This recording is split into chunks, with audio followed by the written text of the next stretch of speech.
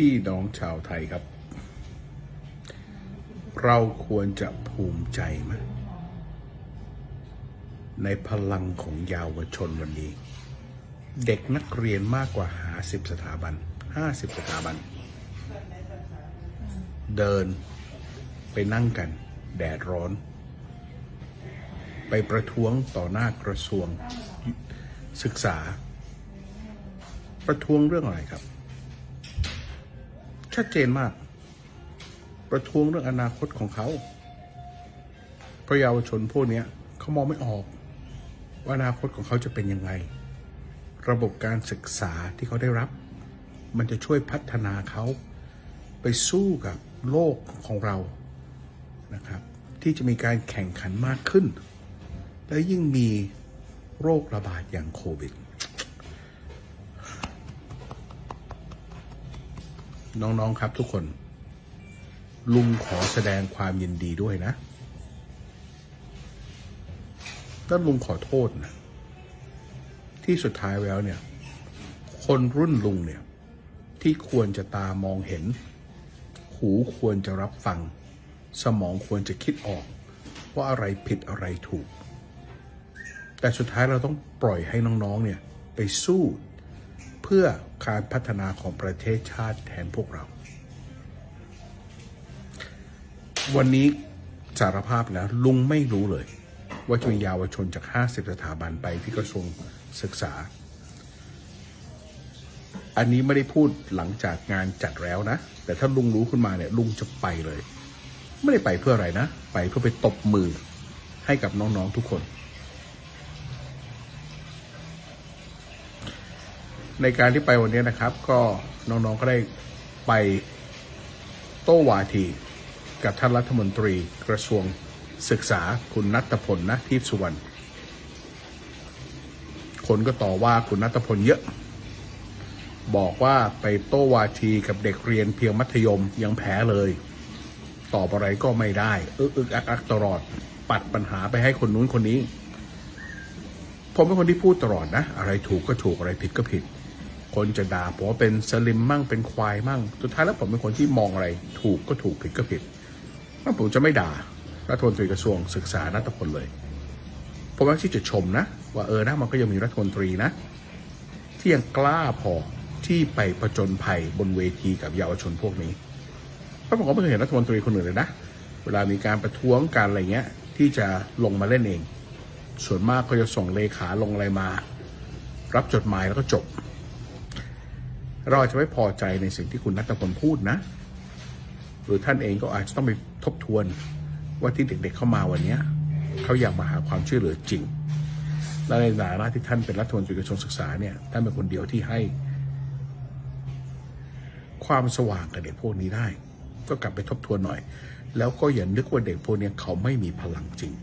แต่ก็ชมนะจริงๆนั้นนะผมเคยเป็นเพื่อนกับอีฟนะ รรยาของคุณนัทพลเนี่ยเป็นเพื่อนดีมากเลยนะผมผมว่าเขาเราเป็นเพื่อนดีกันนะ เราทำโครงการ Together We Can ด้วยกันนะ แต่ก็เพราะว่าเขาเห็นว่าผมมาจะเป็นคนที่สนับสนุนคุณทักษิณชินวัตรเขาโกรธผมเลยนะ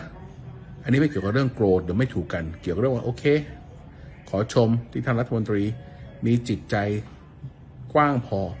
ที่จะออกไปโต้วาทีกับเด็กๆแต่ก็ฝากเลยนะครับ เด็กๆเขามาหาคำตอบนะลองพยายามหาให้เขาได้หน่อย แต่กลับมาเรื่องเยาวชนพวกนี้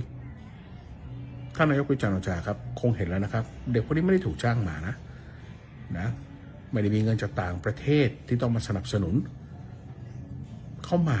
เพราะเขามองอนาคตเขาไม่เห็นในภาวะที่ท่านเป็นนายกอยู่ตอนนี้ เราชอบพูดนะ เราเป็นนักการเมืองหรือเราเป็นนายกเพื่ออนาคตของประเทศชาติ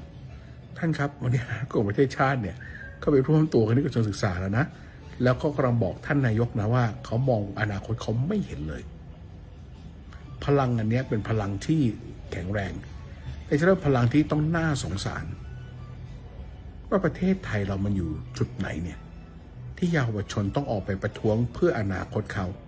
เพื่ออนาคตของประเทศชาติเพื่ออนาคตของประเทศชาติ แทนผู้ใหญ่ที่ควรจะรู้ดีที่ตาควรจะมองเห็นที่หูควรจะฟัง ที่สมองควรจะคิด ที่ใจควรจะรับ เรากำลังใช้แรงเด็กอยู่นะ ให้แก้ไขในสิ่งที่พวกเรารู้เลยว่าผิดหรือถูก แต่เรายังใช้แรงเด็กอยู่ งั้นลุงคนหนึ่งเลยนะ สนับสนุน ถ้าลุงสนับสนุนด้วยกายในการที่ออกไปประท้วงกับน้องๆไม่ได้วันนี้ ลุงก็ขอสนับสนุนในการที่ทำร้ายวันนี้กันแล้วขอชวนคนไทยทุกคนนะครับ เราจะชอบพูดว่าอนาคตของลูกเราสำคัญที่สุด เราทำงานหนักเพื่อให้ลูกมีการศึกษาให้เรียน วันนี้เด็กเขาออกไปโชว์ให้เห็นแล้วครับ ว่าเด็กพวกนี้ไม่โง่ แต่ไม่ใช่เขาไม่โง่นะเขากลัว เขากลัวว่ากลุ่มผู้ใหญ่ที่เป็นผู้บริหารประเทศชาติวันนี้จะทำให้อนาคตเขาดีไม่ได้ งานเขาจะไม่มีทำอาหารก็จะไม่มีกิน การแข่งขันเขาจะตกต่ำวันนี้พลังเยาวชนออกมาแล้วครับ ลุงขอตบมือ ให้กับทุกคน แล้วถ้าคราวหน้าจัดอย่างนี้จริง ๆ นะ ลุงสัญญาสาบานเลย ลุงจะไปยืนตบมือให้ข้างเวทีเลย ขาดเหลือเรื่องเงินในการสนับสนุนให้สิ่งนี้เกิดขึ้นได้ยังไง ติดต่อมาได้เลยใครเป็นผู้นำของเยาวชนกลุ่มนี้นะ ก็ฝากไว้อย่างเดียวครั้งสุดท้ายนะ อย่าหยาบคาย อย่าหลงกล